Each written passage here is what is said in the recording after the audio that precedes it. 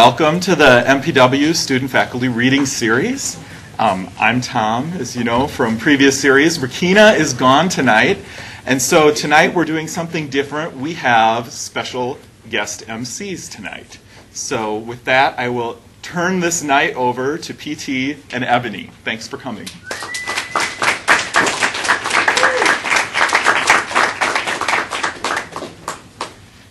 Good evening, everyone. My name is Ebony Cunningham, And I'm PT McNiff. and we are your stand in MCs for this evening. This is a monthly reading series that is has been developed and curated and hosted by our students, two of them in uh, specifically Tom Rastrelli, who's here on the end, wave Tom, who will be reading tonight, so we gave him a little break, and then Rakina Joseph, who actually is at the Jay Z concert tonight. So we allowed her to go to that as well. So we are from the USC Master of Professional Writing program. And to tell those who don't know about the program a little bit about us, we're a multi genre creative writing program. And so we have uh, several different emphasis, emphases. Uh, we have nonfiction, fiction, writing for stage and screen, and poetry. So our students get to dabble in a little bit of everything. So if you're interested in that or know someone who might be, uh, give me a holler in the back, and we have some brochures around uh, today. And uh, we do a lot of great things at the MPW program, one of which TT, uh, PT is going to tell you about right now.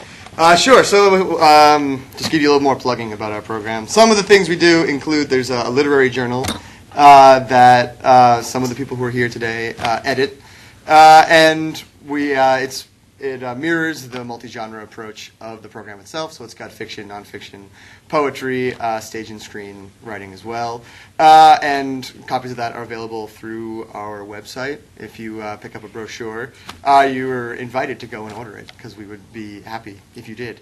Uh, and in addition, we we also some a lot of the students in the program are going to be going to the AWP Associated Writing Programs uh, conference in Denver, and uh, we've been doing some various fundraising events and uh, actions to uh, help pay for us lowly graduate students to go and do that. Uh, and we'll be doing something related to that later. That's just a little like that's like a teaser to let you know something will be coming up later. But we're going to get to the readings now. Enough plugging. Uh, and Ebony, would you like to begin? So first we have Rob Vogt. Oh yes, let's uh, let's do a reminder about cell phones. Please turn off all your cell phones or put them on silent, Mm-hmm. uh, and anything that might make noise, pacemakers, so that we don't disturb our Jittery uh, legs, tap disturb shoes. our readers today. And let me also tell you quickly about parking validation is over here on the right. Before you leave, make sure to get your pass uh, validated. So our first reader is Rob Vogt, and he's a first year, second semester fiction student at MPW. And uh, going in the in the theme of tonight, which is uh, rites and wrongs of passage, uh, we asked uh, we asked all the readers uh, what the craziest, most interesting, or most moving thing you ever did to join a group uh, was or is, and and his answer was that he cut down a tree that smashed through a second floor window of a fraternity house at Indiana University. Now, Good something Rob. you, you may not know also about Rob is that David Hasselhoff and Rob attended the same Chicago area high school, but of course at different times. Yeah. Uh, and he wants to make sure that it's emphasized to uh, all collected here that he is a Rob. He's not a Robert. He goes by Rob. So, uh, ladies and gentlemen, Robert Vogt.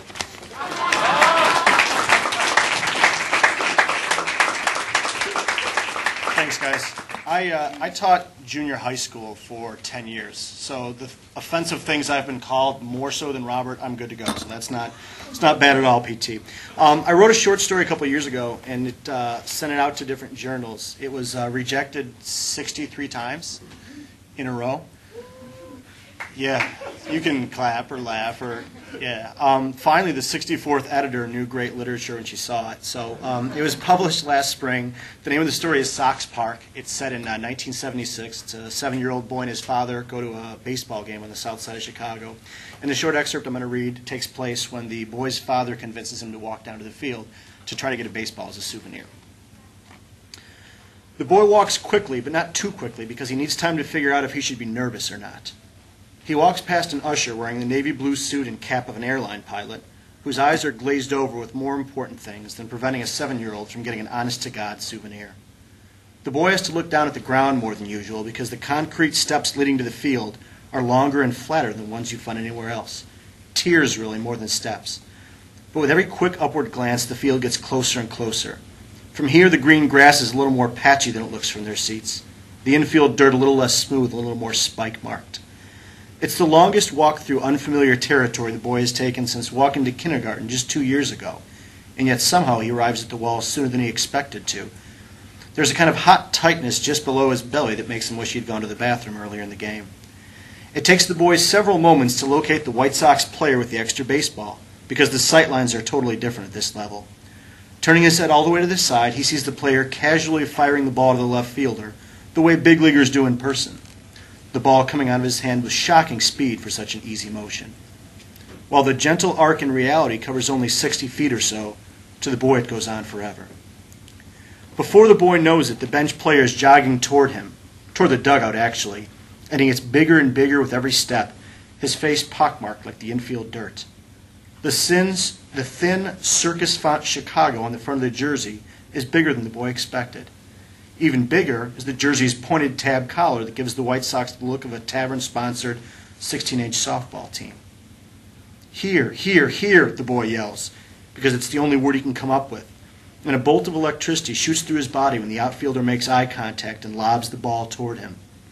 The red stitches rotate and the ball gets bigger, and time seems to slow down until the ball is almost within catching range. And then both the ball and time speed up, and someone pushes the boy from behind. And he bangs his chin against the concrete wall and loses sight of the ball altogether, and then he is down. He cries out in pain and looks up to see the sky and a little bit of the upper deck above him. Once again, the sightlines are way off. The boy lifts his head and tries to sort out all of his seven year old limbs. His eyes sting with tears, but he fights them back because right now the idea of crying in front of people he doesn't know is scarier than a little blood on his chin. Unfolding himself to full height, he sees an older, taller boy running up the steps, his arm outstretched above his head, his hand clutching the baseball that the White Sox player just threw into the stands. When the older boy gets back to the section that houses his seat, he high fives several people in the row. He wears a pair of light blue jeans shorts and a black t shirt with the sleeves cut off, his pale arms starting to show the curved hints of triceps. His father is a fat man in similar shorts and a white old style t shirt. And after he high fives his son, he says something that the boy cannot hear.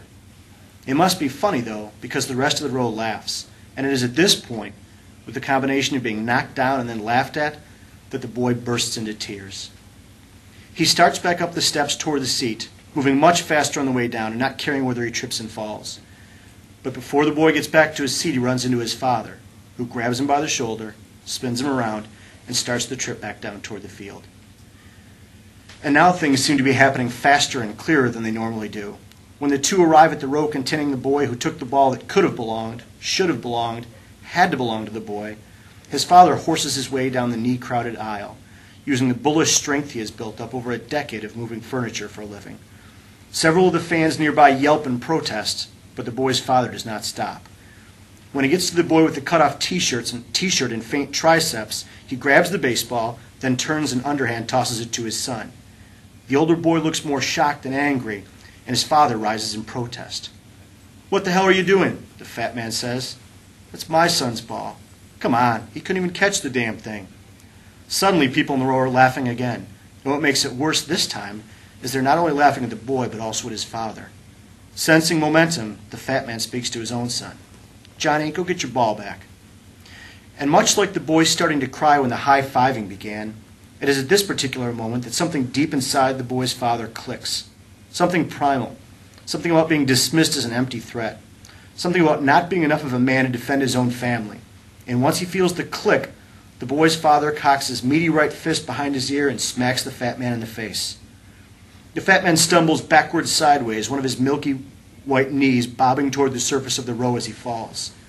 Three men seated nearby are suddenly on their feet, cluttering the tight space between the rows of seats. The boy's father strains against two of these men, the muscles in his neck taut like steel cables. How about that? The boy's father yells at the still prone man. You think my kid could have caught that one? A cluster of Chicago cops arrives at the scene, pushing past the airline pilot usher and herding the boy's father out into the open. Wrestling his hands behind his back, two cops snap a pair of handcuffs on the boy's father's wrists. What the hell? The boy's father yells. You got the wrong guy. A smattering of applause from nearby fans turns the feeling in the boy's once tight stomach into a dull, cold ache. A third cop turns to look at the boy. Hey, pal, is that your old man? That's my dad, the boy says quietly. Well, come on. The cop jerks his head toward the boy's father, who's being forcibly marched up the aisle. You gotta come too. Once everybody reaches the top of the steps, things go from very bright and overly green to dark again. The boy's eyes do not adjust immediately, so he can barely make out the silhouette of his father being snowballed down the interior ramp. At ground level, the cops throw him into a small cell with a chain link fence as its outside wall. Initially, the boy's father stumbles, then rights himself and pushes his face against the fence. Several strands of hair curl girlishly across his forehead, and the boy wishes his father were not in handcuffs so he could push those strands back into place and make everything right again. His father's face is red, and angry spittle leaks out of the corner of his mouth. Let me out of here, he yells. The caretaker cop nudges the boy's shoulder. Come on, pal. A holding cell's no place for a kid. The two of them cross the walkway to a spot 50 feet away from their original location. While the boy can still see his father and hear his father, he can no longer interact with his father, and the ache in his stomach grows even colder.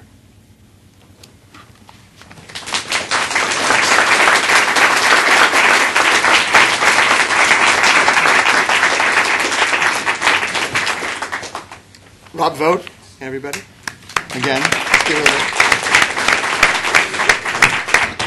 Our next reader is uh, a second year student uh, concentrating in fiction, Ms. Kelly Morr.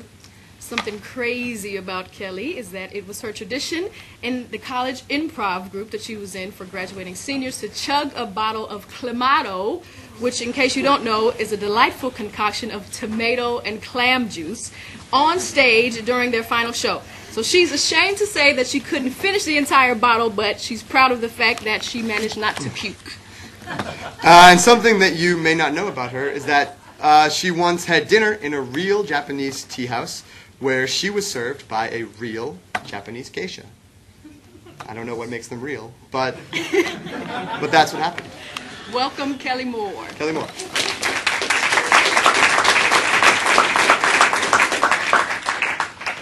Um, I know I'm push- pushing the upper limits of my uh, time limit here, so I'm not going to give too much of an introduction to this piece other than to say that it's an excerpt from the novel that I'm working on for my thesis in the program.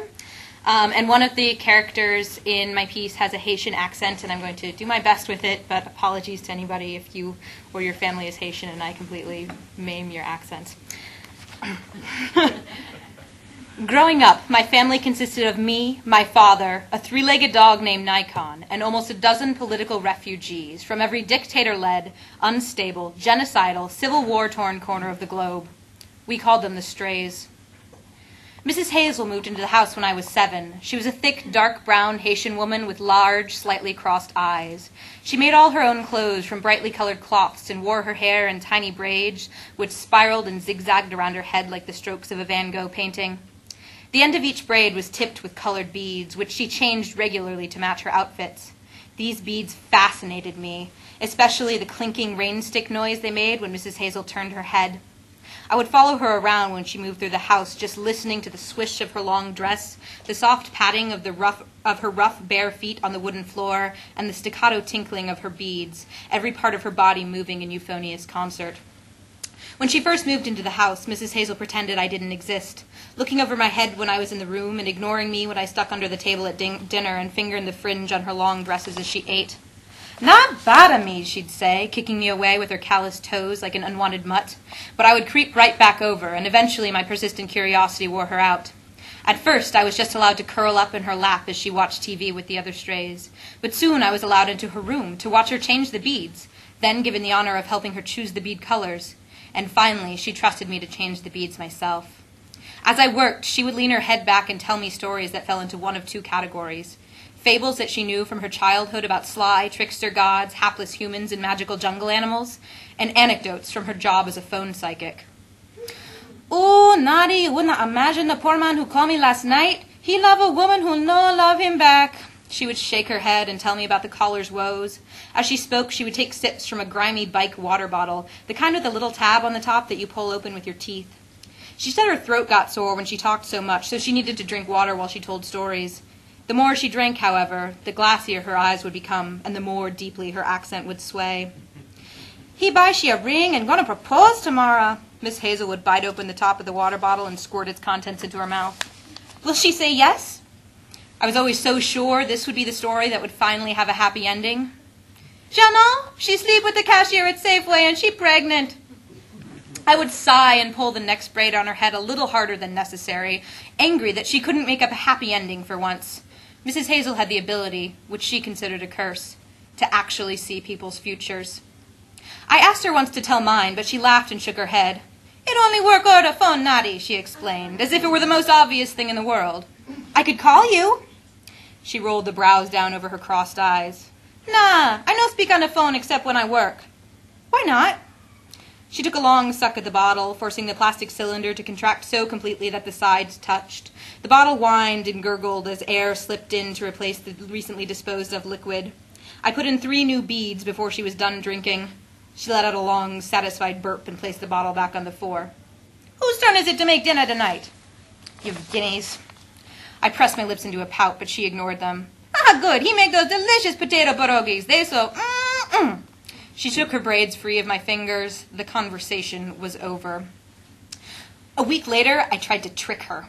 I spent six days, an eternity for someone whose life has barely that many years in it, doing surveillance and gathering data, trying to find out her psychic phone number. She never let it slip and never handed out business cards. She barely talked about work with anyone but me. I finally got a break when my father asked me to distribute the mail for him. It was early spring at the time and still pretty chilly, so I ran from the front porch to the mailbox, leaping from one rugged chunk of concrete to the next, not wanting my big toe, which stuck out through the hole in my left sock, to get wet from the melted frost grass. I pulled down the metal flap, the, flap at the front of the box and stood on the tips of my toes, using my hands to help pull me up and peer inside. There were five envelopes that day. I pushed my tiny arm in as far into the box as I could and pulled them out one by one. Two bills for my father, a letter for Sharif, a newsletter for Mr. Shee, and a paycheck for Mrs. Hazel. I quickly looked left and right, checking to make sure no one was watching. The return address was from Savannah, Georgia. It was printed in tiny serif letters under the name of the company, Moon Sears Hotline, LLC. I couldn't pass this up. I closed my eyes and repeated the name over and over in my head, chiseling it into my tiny memory, then walked back up to the front porch and into the house to distribute the mail, my whole body prickling in anticipation. When all the letters were distributed, I stole away to my father's bedroom where there was a phone. I was clever enough to know that someone out there would be able to tell me the phone number if I knew the name of the business. Now, who could I call? I picked up the pen and paper my father kept on his nightstand and brought them over to the small table that housed the phone. I climbed up into the big straight-backed armchair and kneeled, chewing on the cap of the, po- uh, cap of the pen as I'd seen my father do when he needed to think hard. 911 was for emergencies, and while in my mind this constituted one, I was pretty sure it wasn't on the same scale as a fire or a burglary. If I called Nana and Papa, they would get upset and wonder what my father was doing, allowing me to call phone psychics. Mrs. Attell, my teacher at school, might know the answer, but I didn't have her phone number, so that ruled her out. I had nearly chewed a hole in the plastic cap when I remembered the jingle from a television commercial. On the phone, dial 411. It's your best source for information. I pressed the green plastic numbers into the phone, and a robotic female voice came on the line. Name and city, please. I told her, and she rhythmically recited back ten numbers. I scratched each one into the notepad, my heavy handwriting, uh, my he- handwriting heavy and strained as my newly trained fingers traced each circle and line as accurately as I had been taught in school. I folded the paper in half three times and stuffed it into my sock. I didn't have any pockets. Before placing the pen and pad back on my father's nightstand and returning to my own room to wait until after ten o'clock that night when I knew Mrs. Hazel turned on her line. There were only two phones I was allowed to use the one in my father's bedroom and the one in the kitchen, which was available to any of the strays who didn't want to have to pay to have their own line installed, which was all of them except Mrs. Hazel, whose company paid. I didn't want anyone to catch me lingering in the kitchen, waiting for my for turn on the phone so late at night, because that would certainly raise suspicions. My solution was something only a small childhood could have created and subsequently endured. I resolved to tuck myself away in the broom closet just off the kitchen and wait. The original period door had long since been destroyed and had been replaced with one of those mid century closet contraptions which folds in the center and hosts angled slats that allow clothing, or in my case, a small girl, to breathe. I was not yet as tall as the broom, so could comfortably stand in the small space. Once the door was closed and latched, I, could, I was also able to just twist my body 90 degrees and sink into a sitting position with my legs pulled up to my chest. Shortly after my father retired that evening, around 9:30, I announced loudly that I was going to bed as well and stomped up the front staircase, my stocking feet not making nearly as nice of a clomping sound as I would have liked. I should have worn the traditional Dutch clogs I'd received for my birthday the previous year. After brushing my teeth and closing the door to my room with a resonant slam, I snuck myself back downstairs using the dumbwaiter positioned at the end of the hallway. Originally intended to allow, de- uh, to allow downstairs servants to easily transport meals to upstairs servants and vice versa, it had not been used as anything more than a childhood plaything since my grandparents bought the house in the late 1940s. And so, in this manner, I was able to sneak myself downstairs without anyone noticing. The dumbwaiter led out in the back hallway, right across from the broom closet, and just outside the kitchen and its coveted phone. All I had to do was lower myself and then listen very carefully. When I heard that the coast was clear, I bolted from one tiny hiding place to the next and settled myself in to wait. Just a few moments after I had successfully nestled myself between the mops and brooms, Mr. She came into the kitchen to use the phone. Shortly on his heels, Tatiana dialed and proceeded to have a 45 minute conversation with her sister in Georgia. If I squinted and bobbed my head up and down, I could just make out the kitchen clock through the slats. It was nearly 11 when she finally said goodbye and ran off to her own room. I sat in silence for a few moments, listening to the house settle in for the night the water running in both the upstairs and downstairs bathrooms, the scuffle of bare feet over rugs and hardwood, the final clicking of door latches and night switch and light switches. When the only remaining sound was the ticking of the kitchen clock's second hand, I made my move. I dashed across the tile floor and slid, slid to a stop below the buttery touchtone. My heart whirred inside my rib cage like an egg beater, and I propped my leg up against the counter and slid the paper out of my sock. I took down the receiver and dialed, pressing and holding each number harder and longer than was necessary, wanting to make sure that each digit registered. As I released the final six, I bolted back to the broom closet, stretching the long, spiraling yellow cord as far as it would go. Moonseer's hotline, this is Miss Hazel. What mythical problem can I help you with on this long and lonely evening? I cleared my throat and lowered my voice. I decided to disguise myself as much as possible by pretending to be a man. My friend said I should talk to you. He said you could read the future. There was a pause on the other end of the line. Who dis? My name is Mike Bones. I'd spent several hours earlier that afternoon coming up with the perfect moniker. How old is you, Mr. Bones? I chose a number that seemed unfathomably large. I am 21 years old. Yeah, me too. Hang on there just a moment, Mr. Bones. There was a soft click and a soothing Ocean Noises soundtrack replaced her voice. I was wondering what could possibly be more important than my phone call when a sharp yank on the phone cord wrenched the handset from my fingers and slammed open the closet door. The phone slid across the floor. I peeked through the slats to see the large, round figure of Mrs. Hazel lumbering towards me. I scuttled to my feet and wrenched the door closed. To my chagrin, there was no lock. Miss Hattie Naughty Huxley, you've been a très bad girl. She placed her face up against the slats, her cross eyes bulging out of their sockets, trying to reach in opposite directions through the tiny openings and grab me. I flattened my body back against the wall of the closet, hoping the house would absorb me into its structure and I could disappear. Her thick plantain fingers snatched for the door handle as her enormous gnashing teeth snarled at me through the far too flimsy slats. I balled my fists, clenched my eyes shut, and prayed for deliverance, but the fingers found their target and the door swung open, revealing her full stature. She grabbed my shoulder with one hand and scooped me out of the closet, my little limbs swinging and kicking like wind chimes in a dust bowl, fighting heedlessly to escape. She carried me at arm's length like a stinky diaper up the front stairs into my own bedroom, where she dangled me just inches above the bed. You ain't want to mess with Juju girl. That no ain't good for, good for nobody, no how. She shook me as if to add a punctuation mark to the end of her sentence. Comprend? I wobbled my head up and down in small, frantic nods. She released me and I tumbled to the mattress, bouncing a few times before my body finally came to a rest. Mrs. Hazel wiped her hands together as if she just swept up a large mess and turned to go. Did you see it? Did you see my future? I clutched a pillow to my chest as a shield as the words tumbled out of my foolishly overeager lips. Mrs. Hazel turned to me and ro- raised both hands to the side of her face like claws. Her eyes caught the moonlight dripping in from the skylight and set it alight like gasoline. It was the first time I understood what someone meant when they talked about the devil. I slammed my eyes shut and buried my whole tiny body beneath the pillow shield. When I finally had the courage to peek out 15 minutes later, Mrs. Hazel had disappeared. We never mentioned that night ever again. Thank you.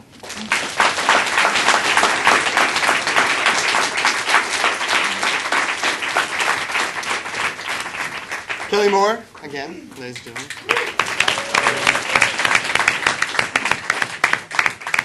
And next we will hear from Charisse Keck. She's oh Tom Rastrelli. Sorry, I can't read apparently. Tom Rastrelli is a first year nonfiction student in MPW. Uh, the craziest rite of passage that uh, he's ever taken part in is uh, at an ornate and intricate ceremony. He signed an oath saying he could no longer err from the teachings of the Catholic Church uh, and promised never to have sex again. Uh, there's, there's no information here on how exactly that turned out. But, uh, but yeah, so whatever he says goes. And he also played the Beast in a musical production of Disney's Beauty and the Beast. And uh, whenever anybody asks um, what he's up to, he likes to tell people that he's currently in the 23rd grade. Please So, welcome. the, the once and future host of the reading series, Mr. Tom Rastrelli.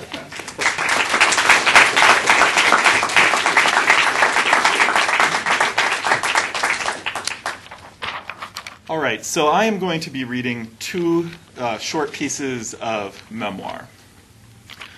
Cordially Invited, an homage to the USCCB.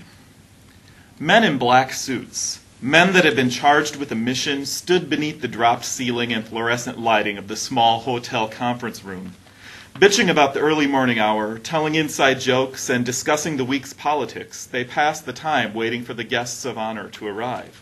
Who's coming? What was yours named again? What's he looking for? He's a definite closet case into Opus Dei and Mother Angelica, so you stay away from him.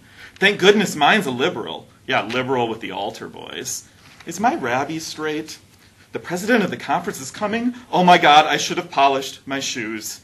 Does anyone see a cufflink? A gold crucifix cufflink?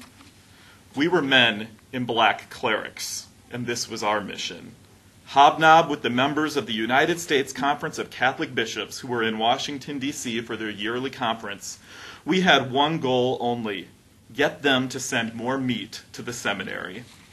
The year was 2001, two months before the clergy sexual abuse crisis burst wide open in Boston and spread with manifest destiny across the nation and was reborn into a global pandemic. Things were more relaxed, naive, and bishops were still open to using the more liberal minded seminaries like ours, St. Mary's, aka the Pink Palace. Loyal bishops were the lifeblood of our seminary. It was they who entrusted their vulnerable amniotic seminarians to the formational gestation of the seminary's faculty. The number of vocationally fertilized was dwindling, thanks to the priest shortage, and our rector was desperate for the bishop's fresh mutton. Every year, on the Thursday morning of the USCCB's annual meeting, he booked a conference room and treated the bishops to an exquisite breakfast. One thing that every cleric loves, even more than free porn, is a free meal. The way to a bishop's heart is food, and of course, strapping young seminarians flitting about drunk on the church's salvific mission. Those of us present were gleaned from the student body by the rector according to certain parameters. First chosen were the sole seminarians representing a diocese. They were the last best hope for continuing the diocese's dying ontological line at the seminary. These diocesan orphans were charged with one task only sell your bishop on the seminary at all costs. Next chosen were the handsomest seminarians. Nothing impresses a crusty, repressed celibate bishop more than hot boys desperate for Holy Father's attention. These seminarians were charged with the task of winning new bishops to the fold. Conservative guys went for the conservative bishops, liberals for the liberals. Theological inbreeding was forbidden. As for the ugly ducklings, from dioceses with multiple diocesan brothers, they were left behind at the seminary, full of rejection and resentment. I was chosen to go every year, And every year, after the breakfast ball was over, after the homoerotic energy of the clerical courting diminished, and after our rector pimp congratulated us on a job well done, we returned to our chartered bus for the rush hour ride back up to Baltimore. Outside the Bishop's Hotel, a 24 hour vigil of three or four gay Catholic men stood silently, wrapped in winter coats, holding candles, and protesting the church's damning teachings concerning homosexuals. Passing the protesters, I wasn't the only seminarian averting my eyes, afraid that if I looked a gay in the eye, that he would know, that the truth of his glare would strip away my clerical shield, and that I would be proclaimed a known homosexual. The damn bus took forever to pull away, and I sat there every year from behind the safety of the reflecting bus windows, avoiding the homo omnipotent eyes of the courageously grieved gay protesters. No one on the bus spoke of them. We just stared silently accepting their judgment. Then we were whisked back to the safety of the seminary, the homoerotic dormitory, and the corresponding compartments of our collective clerical closet.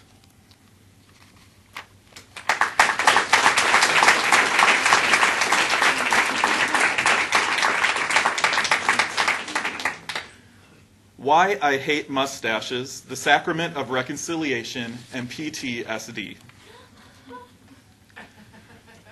Through Windex spattered lenses, I stare at my grass stained Reeboks and the floor of the rectangular office. The gray carpeting is immaculate, not a blade of fresh cut September grass, shred of paper, or dust flake to be found anywhere. I know, because I'm both janitor and lawn boy of the Red Brick Catholic Student Center. The extra cash pays rent on my studio apartment, and the cleaning the church gives and cleaning the church gives me pride lets me know that I have a place at the university. The office in which I'm sitting must be spotless at all times, for it's the campus pastor's office. Even the top of the doorframe passes the white glove test. I know because Father Mustache checks it monthly. I check it weekly. Every item has its place in Father's office. Endless volumes of scriptural commentary and theology line the walls of the floor to ceiling bookshelves. Peering outward between the shelves is a medium sized rectangular window whose vertical blinds hang open to the view of the decaying SAE house. At night, drunken frat boys can be seen pissing off their porch in the direction of the church, which irritates Father like a dust bunny under the altar. But I've observed that he doesn't stare at dust bunnies. The bleached midday sun splits the blinds, throwing columns of light and shadow onto the small end table, which holds a wooden stand bearing a Bible open to Father's favorite passage, Sirach chapter 2. For fire is tested in gold, and worthy men in the crucible of humiliation. Trust God, and He will help you. Make straight your ways, and hope in Him. The black rocking chair on which I sit smells Murphy oil soap clean, but it creaks like a crow cawing at a trespasser. My tongue is dry, paralyzed behind my clenched jaw, tasting of stale soil and rust. My head droops. My eyes grow moist. From the stale scriptures, Sirach shames me, reminding me that I don't have a place in the church. Woe to craven hearts and drooping hands, to the sinner who treads a double path let us fall into the hands of the Lord and not into the hands of men. Father Mustache scribbles away at his desk, listening, listening to my wordless confession. On a caster mounted black office chair, everything he owns is black, he sits and spins around on a transparent plastic floor shield to face his computer desk on the opposing wall. He's multitasking, probably working on a coming homily or a presentation for the Archdiocesan Building Renovation Committee, something important. Really, I don't know what he does in here for 14 hours a day, even when school is out. I'd like to know. I'd like to know everything about what it is to be a priest, what it's like to be him. But what's the point? As soon as I confess, my vocational journey will end. I pull at the dark hair on my forearms. It's unruly, bestial, when did I get so hairy? I inhale to speak, but abort and pick at the frayed edge of my loose fitting jorts. Nothing fits my skinny, bony, wimpy body. Father Mustache's egg shaped head and its flame like tuft of salt and pepper hair stare at the computer monitor. His short legs, small torso, and hanging belly are graced in their usual black clerics. His pianist strong fingers, with their nod to the root fingernails, punch away at the keyboard like a nun desperate for menopause. Well, split it out. Well, spit it. Well, spill it out already, Pastrone. I hate the nickname that he's given me, but it does its magic. I tell him my sin. Something happened when I visited my childhood priest, Father Obaldi, last weekend. He'd invited me down after receiving my I'm going to be a priest, and in large part thanks to your positive influence on my youth letter. Father Obaldi warmly welcomed me and begged me to tell my life story. He was an old family friend who was present at my dad's bachelor party, where they watched stag movies. Wholeheartedly, I trusted him, even with the truth of the sexual abuse that I'd endured and about being attracted to males. Father Obaldi told me there was nothing wrong with my attractions, stripped naked, and invited me to do the same. Confused and excited, I did. We gave each other massages, but never touched each other's genitalia. He was celibate, after all. Then we masturbated in front of each other. Father Mustache's fingers cease typing. He turns to me, his purple bagged brown eyes piercing his glasses. The plastic floor protector crunches as his chair rumbles towards me. The warm, moist scent of his coffee tongue overpowers my nose, which is being prickled by his graying mustache. My body freezes. His stubby fingers dig into my bony knees. This is appropriate touch. His satin hands slide away from my knees, move up my hairy inner thighs, under the denim, and grasp onto my tidy whities, my soft penis and balls, squeezing, hurting. This is inappropriate touch. I'm no longer in the church office celebrating confession. I'm in another rectangular room, smaller, brighter, purer, antiseptic. The paper under my bald 15 year old bottom crinkles against the examination table. The spicy scented pediatrician's hand is on my penis. His salt and pepper mustache pricks my clenched lips. His tongue forces them apart, invading my mouth, my soul. The walls of denial tumble, each every movement of the slug like tongue confirming the truth that I cannot, will not face. The genital exams of the past year were not standard procedure, but were sexual abuse. The pediatrician finishes before the nurse and my mother return. I sit, paralyzed, clothed in sticky lies and denial that will protect me from the reality until I'm in college and I trust someone enough to tell the truth. He's a mustached priest, my pastor, my boss, my spiritual director, my inspiration for wanting to be a priest, and my confessor. Ten months after telling him about the pediatrician, I sit in Father Mustache's office with his livid, repressed digits collaring my cock and balls. I'm frozen again, just as I was in the pediatrician's grasp. My dark eyelashes strain tears, letting them fall. I inhale. I'm sorry, Father. Please, please let go of me. He does, and then he absolves me of my sin.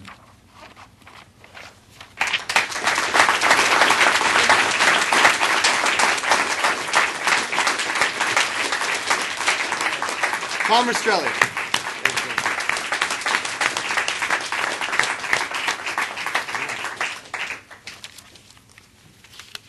Next, we will have Charisse Keck, who is a second year student in MPW.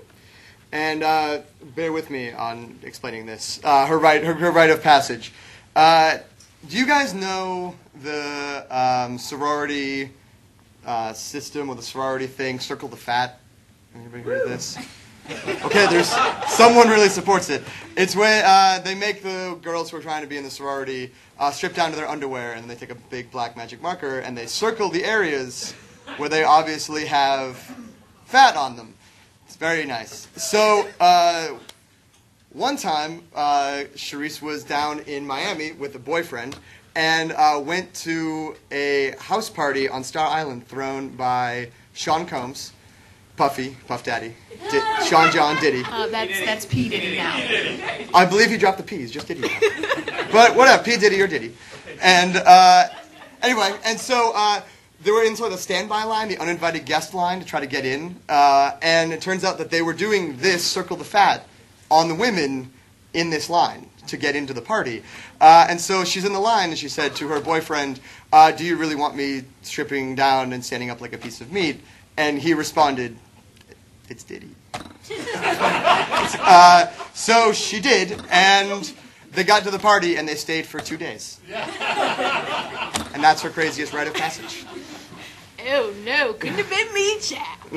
Uh, so something you uh, didn't know about Charisse is that she's still terrified of the dark, and she sleeps with a stuffed Budweiser horse named Duke. Please welcome Charisse Keck.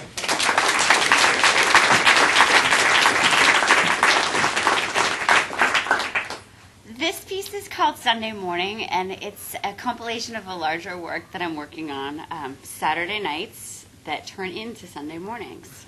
Okay. We sat on the red leather sofa, staring at the blow on the coffee table. I peeled myself off the couch and regretfully looked in the mirror. For reasons always unknown, I was convinced that with divine intervention and years of accrued faith from the Catholic schooling in my childhood, my appearance would morph back to the fabulous girl that started the evening. At 5 a.m., the chances of fixing the national deficit were a lot more likely. The questions to the que- the answers to the questions people seek at that time of night are not in the mirror. They're on the mirror.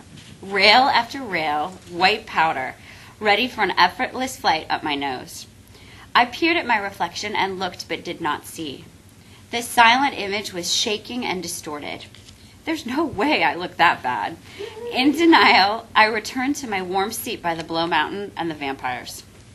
Just so you know, nothing good ever comes out of staying up all night. It's a recipe for heartbreak, a bloody nose, and disaster. Guzzling booze plus chain smoking at nightclubs in LA equals withdrawing $200 from the ATM and blowing an eight ball. All of this, of course, is after you've spent at least $100 at the bar of some club. I personally always pay for my own drinks. That way, I'm not obligated to hook up with an asshole. When you buy your own blow and booze, you don't owe anyone anything. None of my debauchery has ever been planned. I spontaneously make the call after a couple of cocktails. Too late for tears. At this time of night, I did another line. I let the remorse tingle down my throat with the drip of the blow. Soon, one would numb the other. To all of you who party, if you can avoid it, don't peek in the mirror and do an appearance check after 2 a.m. It, ruins the confluence of the group and fucks up the energy. Only look after you've done a few bumps in a nightclub stall. When I open a club, every stall will have a private mirror and sink. My guests will have abscond euphoric and extravagant. I'll even have a DJ to drown out the sniffing. There's nothing worse than exiting a stall looking like you've just stuck your face in a powdered donut. Everyone knows you're doing blow. When the club closes and you find yourself at an after party at some fabulous home in the Hollywood Hills, trust me when I say this. If you didn't look fantastic, you wouldn't be there. So again, no peeking in the mirror. The only exception to this rule is Luigi, the five foot tall Italian drug dealer that dresses like a mobster and looks like a goblin. I should take that back. He's actually a nice person. He sells blow late night at parties in the hills for the steep price of $80 a gram. The weird thing is, he drives a really shitty car. Uh. It, it doesn't make sense to me because you know he could easily afford a nice one. The funny thing about that shitty car is it's always packed with gorgeous young girls looking to party. Beauty follows blow all the way to the top of Mulholland Drive. These drug dealers that party in the hills, I think they do their own blow. If you mix pleasure with the business of selling cocaine, the empire's gonna crumble. Luigi knew about every Hills party in the city. Sometimes he'd be a dear, and he'd call me earlier in the week to tell me about the good parties in advance. You know, like the pre Golden Globe parties or Academy Award Hills parties. Those parties require a little more lead time when it comes to picking out the Saturday night ensemble. So I have a question for the late Pablo Escobar and all my friends. How come staying up all night doing drugs makes people dirty? Um, maybe because you're not supposed to put things up your nose. Let's go off on a little tangent here, shall we? People do that when they're high. It takes six hours to cover one topic with all the digressions. So here we go. Thanksgiving Eve is a big night out for people in LA. Thanksgiving dinner provides the perfect remedy for a hangover. Nothing soothes a self induced sore throat like mashed potatoes and gravy. Turkey's easy on the tummy as well. Someone told me that I'd be well on my way to recovery if I have protein after a bender. It's supposed to help rebuild your white blood cells or something. I never bothered to look that up, but it did stick with me and it does make sense. So Wednesday night quickly flowed into Thursday morning. By 9 a.m., the gravity of the situation set in. I broke my own rule. I did the appearance check and looked in the mirror. Gag, vomit, barf. I was frightening. When I spoke, it sounded like I had a severe sinus infection. That wasn't going to fly at my parents' house. My sisters definitely knew that colds for me don't materialize out of thin air after a night clubbing. I was in dire need of relief, so I consulted with one of the snowbird vampires. Terry, my good friend and high profile litigation attorney, suggested Afrin, a nasal miracle. She told me to back off the lines for a few hours, take some Xanax, and I'd be fine by noon. I didn't want to argue with her, yet putting Afrin up my nose terrified me. It seemed unnatural. The vampire 10 shrieked with laughter. Wait a minute, you've just snorted a gram and you're scared to use Afrin?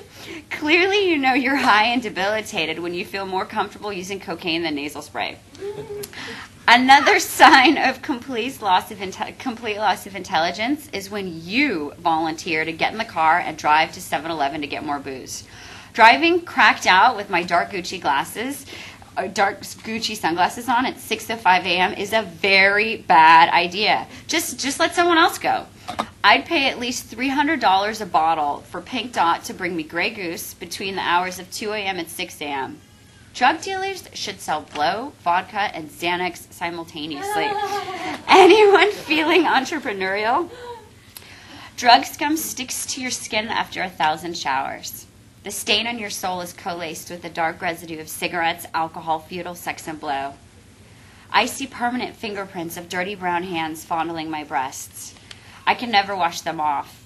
I'll admit, being the planner that I am, sometimes when you're too cracked out to return to the ATM and you only have 20, do- 20 bucks in your wallet, you compromise and you let Pablo fill up your shirt. For regular clients, little touchy feely goes a long way. At that time, it's not as immediately costly as the $10,000 mistake of a DUI if you get caught driving. However, letting a drug dealer touch your special places in exchange for a gram that's going to have you hiding under the bed from the demons in your head isn't worth it. They always come for me. Once I cross the point of paranoid no return, I see spiders crawling all over my skin. I've spent hours hiding under the covers from dark black spiders that don't exist. I'm terrified of spiders. I had an abusive babysitter that used to lock me in a closet for indefinite periods of time. My parents traveled a lot when I was a kid. There was a spider in there once. I saw it before she closed the door. When my grandmother finally rescued me from that closet, my body was covered in bites. At a certain point in the evening, that spider always comes back for me. Drug abuse debits all dignity. Don't barter for blow, it bankrupts your soul. I have caution tape around the doors of many memories. But, in my experience, there are only four places on the planet where staying up for 110 hours is perfectly normal and you don't get paranoid. Everyone else is doing it, so why the hell not? Get a passport because the cracked out and the fabulous all frequent Miami, Vegas, Ibiza, and Thailand. In this order, too. Mark your calendar.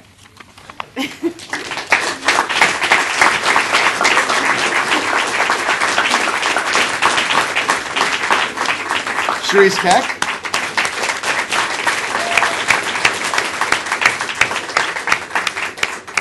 Next, we have Eric Brach, who is graduating this semester in fiction. Uh, and his uh, most interesting, craziest rite of passage was he pulled down his trousers and peed. Which is, I also joined the Big Boys Pants Club at one point. That's good. And he likes girls with tattoos. Uh, and if you want to talk to uh, him about it later, he also wants everyone to know he's a musical robot. Eric Brach, Eric everyone. Brach.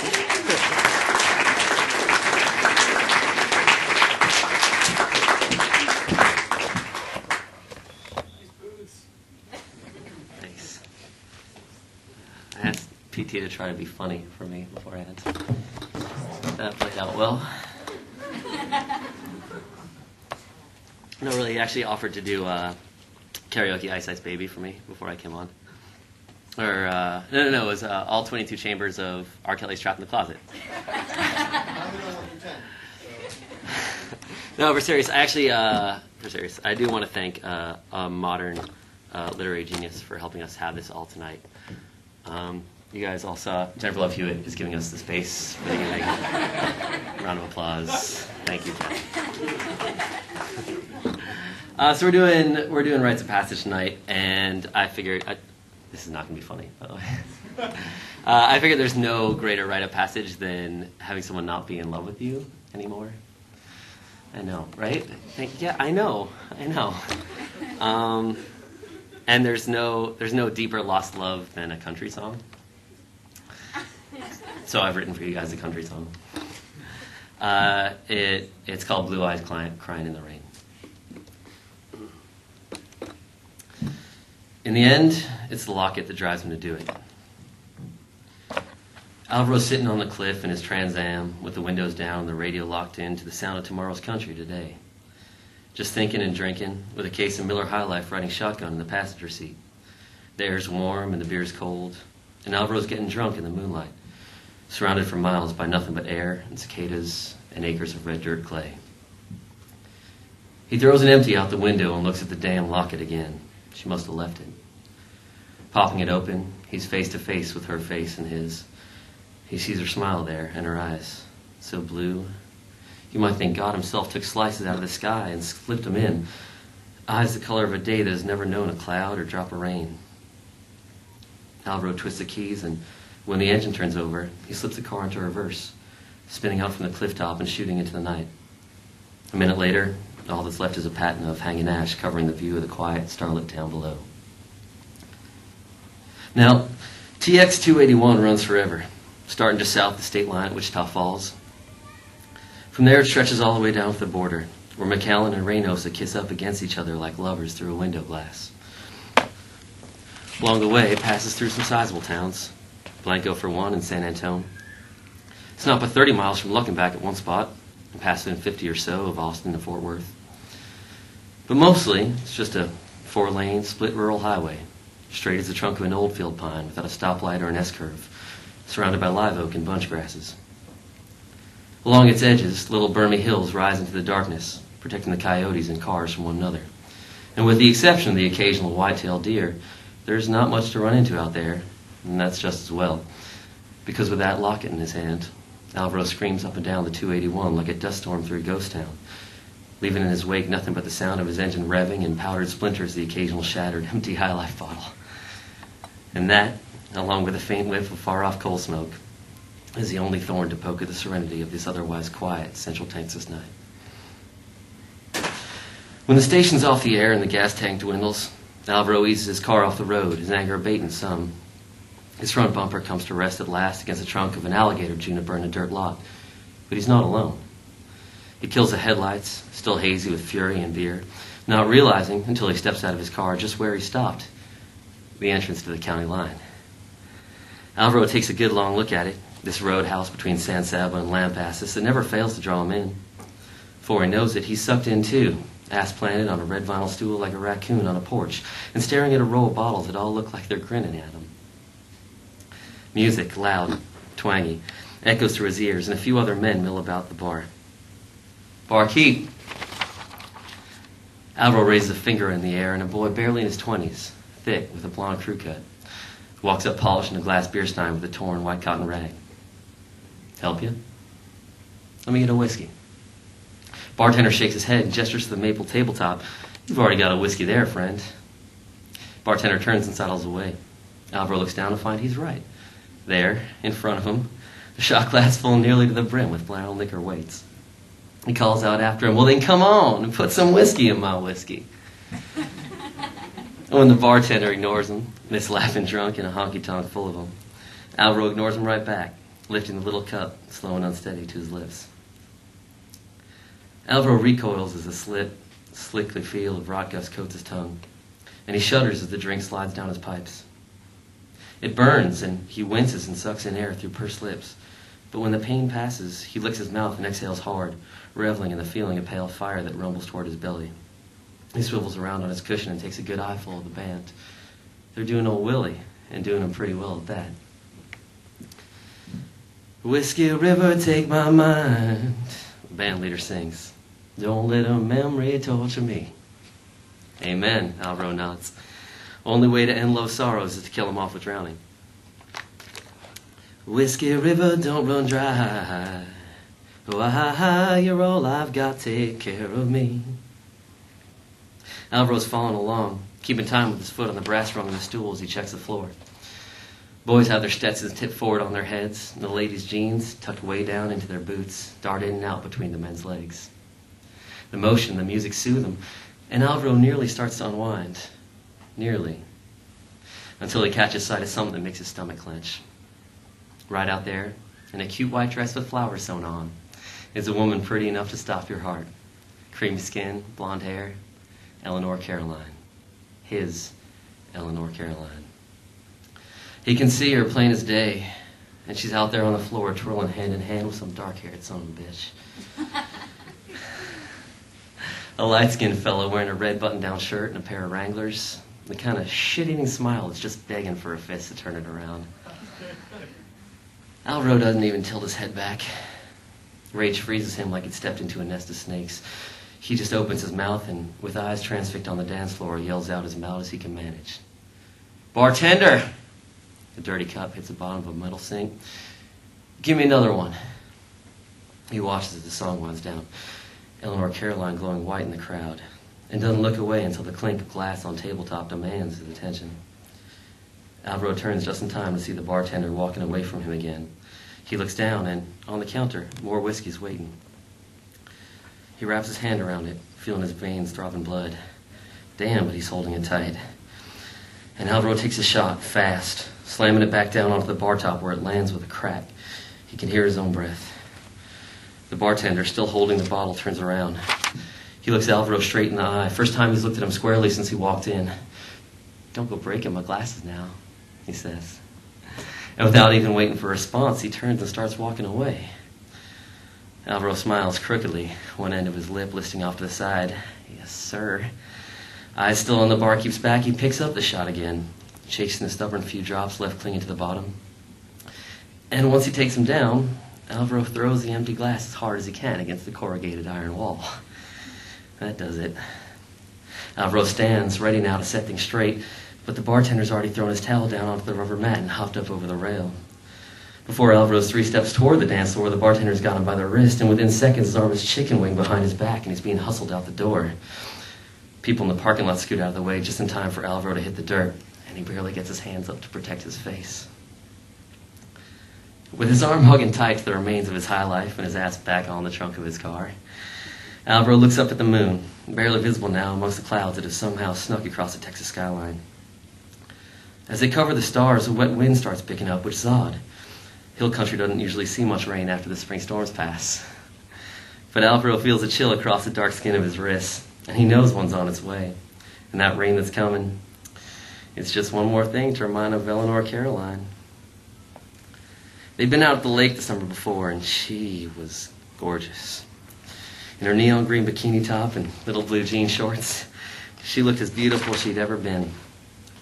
They got caught in a sudden shower standing at the water's edge, and as the rain beat down on the piddling wake waves that lapped gently at the shore, she kissed him and said she was his forever. And he believed her, which just makes it hurt all the more. Alvaro slips off the trunk and gets back in his car. With the door still open, he cracks the glove compartment and breaks the aerosol choked night air with his lonesome voice. I love the girl, he sings, the leader now of his own sad band. She was my sunshine. Rifles past the registration, expired insurance papers, his hand searching the glove box. His name was Eleanor Caroline. Pulls out a cardboard case and a cold hunk of metal. He knows what he's got to do. She got fast with a friend of mine. Throws another empty into the night. At the dance hall, Lord, on the county line. Alvaro opens the box and tips its contents into his hand. A waterfall of bullets spills forth. So I put some whiskey into my whiskey. I put some heartbreak into my heart. He fumbles three bullets up off the floor and reaches for his handgun. A real one, not a sissy revolver, a magnum. And begins loading the clip. I put my boots on that old dance floor. He rams the clip home and slams the car door shut. I put three rounds low my 44. That'd have been of all right if the bartender just let him go stomp that new boot, or if he hadn't tossed him to the ground. But he didn't, and now Alvaro's got to take it all the way. Because cuckolding and humiliation, that's too much for any man to bear. Dirt gives way to the crush of peanut shells on cement and the soft slide of sawdust on pine as Alvaro slides back in. No one's seen him, or if they have, they've not paid him any mind. Fingering his waistband like a security blanket, he watches the couples twirl on the wood shavings. Some go cheek to cheek, with palms pressed chastely against each other. Others dip and sway, saddled in real close. The love in the air is manifest, and between the blue light, the song, and the heat, Alvaro's heart nearly softens. But just as he's about to turn, just as he's about to give it up and head on home, he sees them. He sees them both. And after that, there's no going back. They got their bodies right up against each other. No room for the Holy Ghost. They're gazing into each other's faces, swaying back and forth, and the world dissolves into a sea of boiling red. Alvaro elbows his way through the masses, coming to rest right behind Eleanor Caroline, just as the band says they're taking a break. And as the boys pack their instruments away and the crowd starts thinning off the floor, Alvaro claims his due. What he's going to say, he doesn't know till he says it. He half surprises himself when he opens his mouth. I filled my glass with Uncle Jack. He warbles out his own love story. There's a gasp, and it's Eleanor Caroline. I lay my skin in my Sunday black. She recoils, horrified. A drop step back like in a dance, but Alvaro follows by stepping forward. I'll make my bed, he sings, on them railroad tracks. The house lights come up, and Eleanor Caroline's new man shows his fist balled and ready, but Alvaro doesn't care. He keeps right on singing. I'll leave this world, Lord, and I won't look back. And out comes the gun. The silver plating catches a glint of light, and in an instant, a scream shoots through the walls of the county line. Again, the world dissolves. People hiding behind tables invisible, non existent now. And all that's left are Alvaro and Eleanor Caroline, and the Johnny come lately, and the 44. It's Alvaro's show now. And with the business end of the magnum, he leads them all up to the stage. He's got a pistol in one hand and grabs the microphone with the other, wincing as the metal connects with his fresh, dirty cut. I put some whiskey into my whiskey. Stay hard, cuckolding and humiliation. I put some heartbreak into my heart. The man standing before Alvaro, the dead man standing before him, who just seconds ago was kissing his girl, holds his hand in the air, contrite, palms forward. I made my way across that old dance floor. Put three rounds, Lord, my Eleanor. And he unlocks the trigger guard. Eleanor Caroline's eyes meet his, pleading. And Alvaro swims in those deep pools of blue he's known for so long. The color in them changes. The moment's tense. Her new boyfriend takes her in his arms. Finally, the storm breaks. I'm sorry, Alvaro whispers, and he drops the microphone to the floor. And outside, lightning flashes. That rare summer deluge striking down the telephone pole. And inside, everyone hears the crash. Thanks.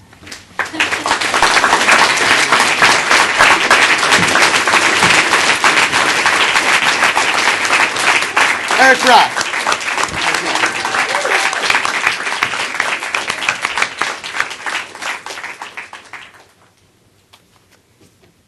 Oh, all right. Uh, before we do our have our last reader come up, uh, we're going to speak a little bit about what I hinted at earlier, which was uh, that fundraising thing that we're going to be doing for help to help the MPW students go to the AWP conference in Denver.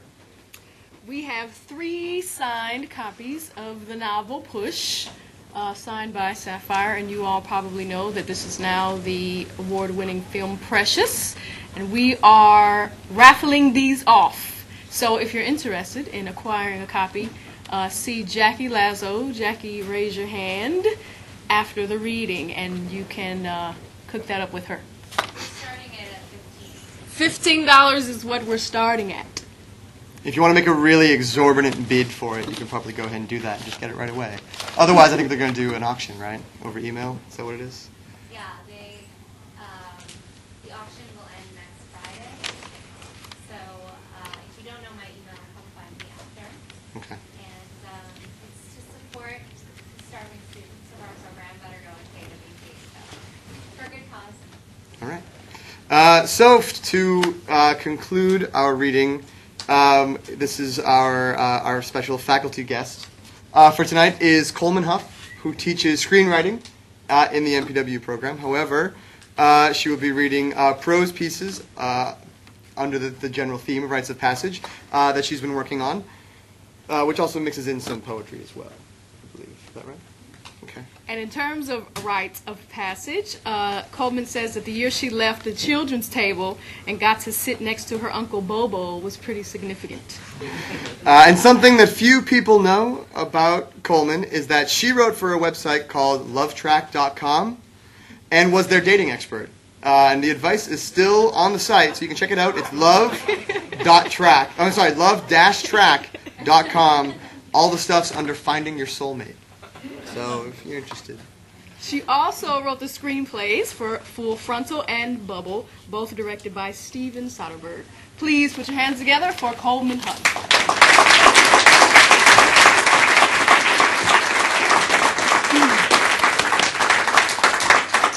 A. So rites of passage. It's really fun to think about what I was going to read. This is called Billy, Lin- Billy Lincoln. Tuesday mornings late, the summer I was 11, a boy named Billy Lincoln worked in my grandmother's yard. He mowed the lawn first thing, and I always woke up to its jagged moan. I could see him from my window and positioned myself to watch him. He was pale and small boned, but tall. I watched him handle the coil of the garden hose, his long, thin arms spooled it around the jut of his elbow. The way I'd seen my father wind the, wind the frosted colored lights after Christmas. Then Billy hooked it on the fence and leaned over to turn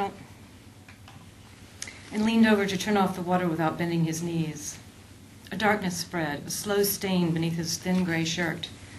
I got close enough to smell him most Tuesdays after lunch. He'd come in for iced tea and a check. Sometimes my grandmother would have it written out beside his glass, but I counted on the times that she would have forgotten. Those days she would leave me alone with Billy and his long fingers wrapped around the sweat of iced tea. He would tell me how he really was an exotic dancer in a low, sing song voice. He danced with snakes. His skin was smooth, buffed down and white by the bellies of all those snakes. I thought of Tuesday afternoons as our time. His wink out of each eye meant, Goodbye, don't tell your grandmother. and I didn't. For a while, she thought he was deaf and would tell me after he'd gone the story of how her mother had fallen in love with a deaf boy during the First World War. Well, this is before I even knew there had been two wars, but I knew Billy Lincoln was not deaf. He had big ears and could wiggle them. I tried to wiggle mine, but he told me it came with practice. He said he had the look of someone who practiced many things. On Tuesday, I asked him if he played the piano. He sat down at the baby grand and played out the Maple Leaf Rag. We were about to play a duet when my grandmother came back in the room, gave Billy a look, and handed him his check. After that day, she must have figured out he wasn't deaf. And Billy stopped coming by for iced tea. Coming in for iced tea, my grandmother took it out to him instead. It's best, she had said when I asked her about it. We don't want to get too familiar. She thought people got the wrong ideas about things, and before they could, she usually changed the subject. She was an expert at rearranging the direction of any conversation. It's just good sense. She would say, and most of the time I liked the way that sounded, but when Billy Lincoln stopped talking low to me on those Tuesday afternoons, I felt like she was standing over me at the beach, blocking my light.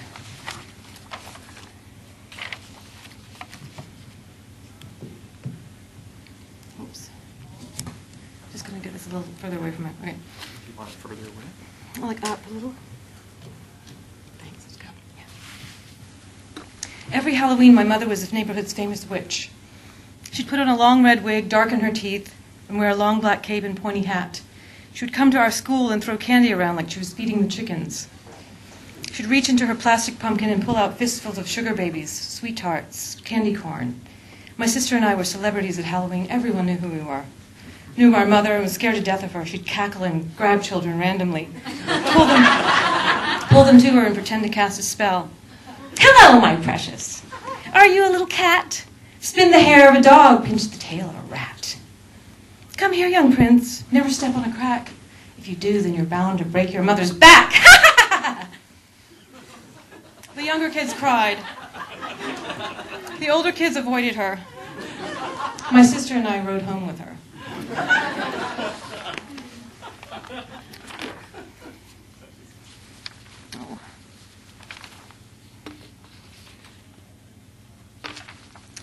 Before sleep, my mother would fly in, land at the edge of my bed, stiff in her evening clothes, her skin cool, tight against my cheek, as if she were custard chilled in a china cup.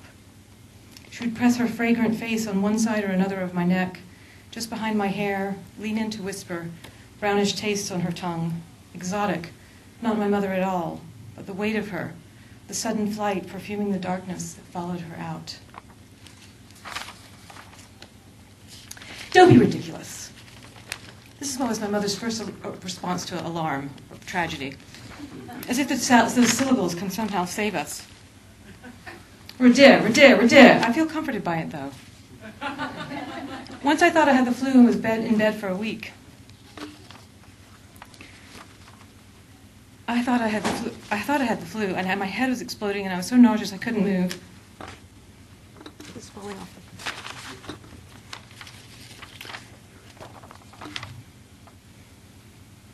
My thoughts wandered one afternoon to a member of the wedding and that little boy who died of a headache. He died of meningitis. Mom, I called her, I think I have meningitis. Don't be ridiculous. There was an epidemic going around some college campuses near where I lived at the time. The next night I went to an emergency room and had a spinal tap, viral meningitis. Not the deadly kind, but still. Don't be ridiculous, she's saying it again. I'm 11 and run into her room at 2 a.m. saying there's a man trying to break into our house. After saying it, she flies downstairs and open, throws open the door to the back porch, shapes her hand into a gun, and says, Stop right there, I've got a gun on you. The man jumps over our garden wall and runs away. The World Trade Center has a smoking hole in it. My mother is in, Maine, in North Carolina with without a television, getting ready for the movers who take her to Maine. I think she'll find this fascinating. I call her. She's always calling me about what's on Oprah or the Today Show. She hates that I never watch daytime television. This morning, though, the Today Show, since I wanted to hear the weather. Mom, they think a plane hit one of the World Trade Center towers. Don't be ridiculous. And then the explosion. My eyes were not fast enough to see the plane hit the building. I just saw the ball of fire, I dropped the phone. God. You'll never be an actress. You have a thick waist. This was my father's prediction in 1985. The year I moved to New York become an actress. I was 23, already an experienced waitress. I was ready. or was I? I had a thick waist. So, New York, 1985, high up in an office on 42nd Street and 8th Avenue, I sat across from an old man. I thought I was networking. But it was all legit since it was connected to the Actors Project, this cult that I'd recently joined, that offered seminars with casting directors and resume services, headshot advice. Job opportunities were available, so I partook. I'd responded to an ad I'd seen on the bulletin board photographer seeks catalog models. I called the number and got an interview. Wow. The old man who greeted me didn't seem like a photographer. I imagined a young, hip, long haired, sort of beefy guy with a firm handshake. Remove your clothes except for your bra and underwear, and I'll measure you.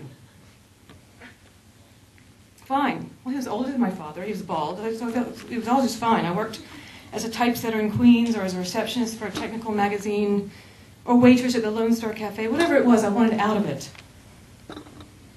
I saw this as a way, so taking my clothes off did not seem unreasonable. He didn't say, take your clothes off and dance. He said, no, take your clothes off except for your bra and underwear, and I'll measure you. I needed to be measured. I liked that. To be sure, there was still some dimensions to me, some still some weight. He seemed to concentrate on all the degrees of me. I liked his rever- the reverence in his breath, his soft, fluttery tone, as if I made him slightly nervous. Could have, I could have picked him up and thrown him around the room. It would have been that easy. I felt strong, in control. He wrote down everything. So I'm sitting there buttoning my blouse in his office on 42nd Street, and he's adding up or subtracting. I don't know, but he's definitely doing the math.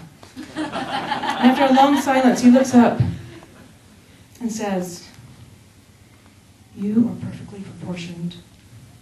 You'll be modeling lingerie and toys.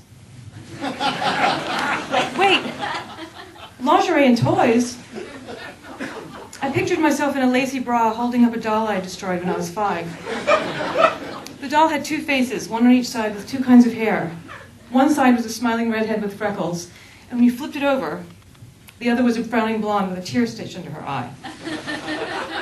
It was one of those cruel presents some friend of my mother's had given my sister and me to share. My sister had red hair. Uh, we had a room divided by blonde-headed dolls and red-headed dolls. This doll, however, disturbed us, caused fights, encouraged fits of rage. One night, Mom, after she turned off the light, I waited until my sister was asleep, waited until the house was quiet, and then, with scissors in hand, I flipped over to the other side and snipped off the hair, strand by strand, the red hair. Then the, the blonde was so complex, troubled at such a young age, she did not need a tear stitch under her eye. I cut that off too. Here's my card. Just check in from time to time and I'll let you know when there's work. The ball man winked at me. Lingerie and toys? I thought about it the whole way home. You are perfectly proportioned. But I had a thick waist.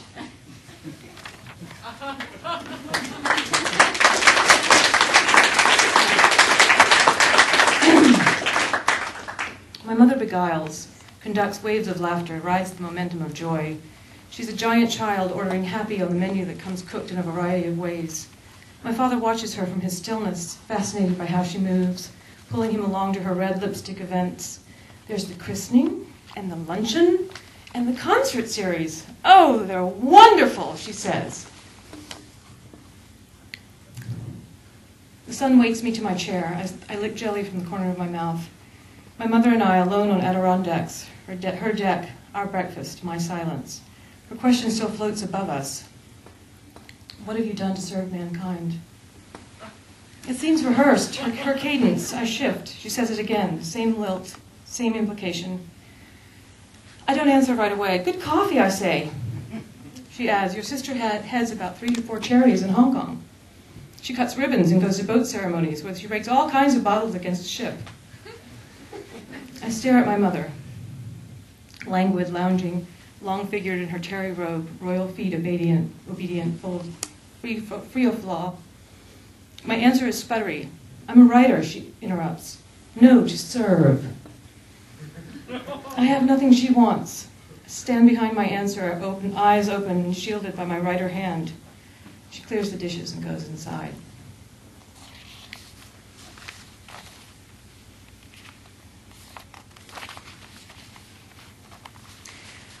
I had a dream about my genitals sliding out like a piece of chewing gum, plop into a toilet's swampy waters. Imagine my surprise as I stood there naked since my underwear had been complex, necessary to remove, and my dress, the organdy layers fanning up at me, laughing from a hook at my face, looking down at the pink fallen flesh floating there, weighty. And then the automatic flush. Saving myself the way one would do, I reached down and caught it in my hand, washed it off in the sink, patted it dry. I thought it would be easy to fit back in, that it would click into place like my diaphragm behind a bone. But what I couldn't tell was which was the front and which was the back, and where did it really go? Details I would certainly soon remember. So I wrapped it up in toilet paper, put it in my purse, and dressed without it, returning to the party flushed, unsexed, Invisible, clutching my purse in a crowd, I wandered around drinking cheap, cheap champagne, trying to find a doctor I could ask if this was something I should have expected. I wanted a scientific answer. No one had warned me, not even my mother, the queen of menopause, goddess of the change. Someday your genitals will just drop down. You could be anywhere, so be prepared. I carry an airtight container with me just in case, and darling, you should as well. It happens anytime after 41. She could have uh, offered practical advice. I would have accepted it with grace and poise. Hot flashes, thinning hair, fallen genitals, your most creative time, is all she had said. Menopause and the mystery was for me to discover like sex. Something beautiful, the way she had described it when I was eight. Sex that was now in my lipstick. Sex, sex that was now in my purse with lipstick and car keys, credit card receipts, money, items I may have lost or forgotten, stolen, borrowed, reclaimed. Yeah, thank you.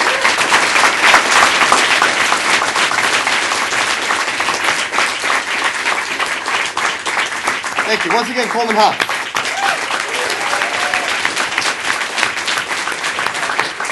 And another round of applause for all the readers tonight.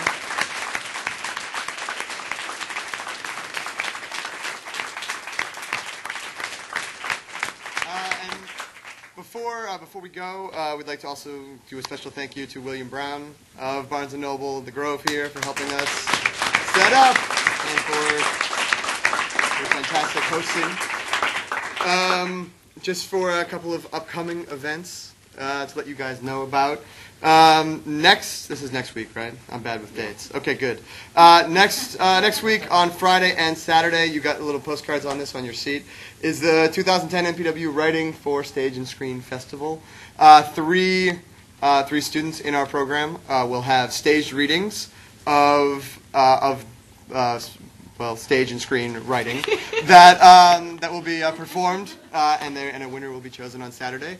Uh, the the students are Kevin Avery, Marlene Leach, and Tom Rastrelli, who read tonight, right over there. Uh, so you can make that out. Um, that is uh, on the USC campus in Mark Taper Hall, and the next, um, and I believe last for the semester, uh, student reading series um, like like this. The installment is going to be Friday, April sixteenth uh, at Skylight Books up in uh, Los Feliz on Vermont. Uh, it will no longer be amateur hour here with the two of us hosting. Tom and Rakina will be back. Uh, and the theme is going to be the art of memory weaving the past. Did I get that right? Something like that. Something like that. Uh, you come, it'll be a surprise, and uh, and you'll and you'll show up. Um, and uh, Thank you all so much you all so much for for coming coming. out, parking, and cookies in the back. All right, thank you so much, everyone.